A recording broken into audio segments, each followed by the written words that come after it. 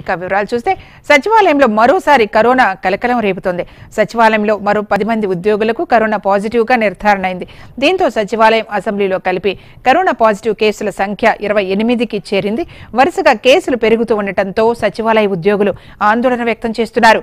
ఒక ఇరిగేషన్ శాఖలో తాజాగా మూడు పాజిటివ్ కేసులు నమోదు అవడంతో ఆ శాఖలో ఉద్యోగులకు ఈ నెల పద్నాలుగు వరకు వర్క్ ఫ్రం హోంకు మౌలిక ఆదేశాలు జారీ చేశారు.